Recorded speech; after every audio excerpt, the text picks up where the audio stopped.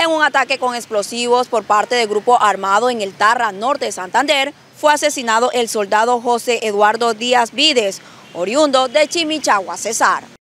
El atentado contra la fuerza pública ocurrió la madrugada del miércoles 16 de agosto. Las autoridades confirmaron que el militar que falleció respondía al nombre de Eduardo Díaz Vides, natural del municipio de Chimichagua, Cesar. Asimismo, cuatro soldados más resultaron heridos en medio de este hecho que se suma a la ola de violencia desatada durante los últimos días en contra de las policías y militares en el país. El comandante de policía de Norte de Santander, John Robert Chavarro, confirmó que los cuatro heridos fueron trasladados a centros asistenciales de Cúcuta. Su estado de salud es delicado. Aunque por el momento no hay información precisa sobre los autores del ataque, en esta zona del país delinquen estructuras del ELN y el Frente 33 de las disidencias de la FARC.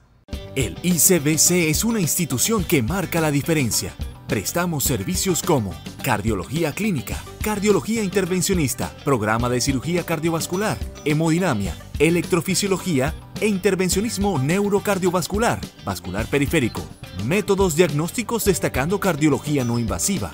Además, contamos con el servicio de unidad de cuidados intensivos y hospitalización, un equipo humano comprometido en el cuidado y monitoreo de nuestros pacientes, brindando un servicio oportuno según la necesidad. Nuestro lema es Por el corazón del valle. Le ponemos el corazón para el bienestar de nuestros pacientes. Somos el Instituto Cardiovascular del Cesar.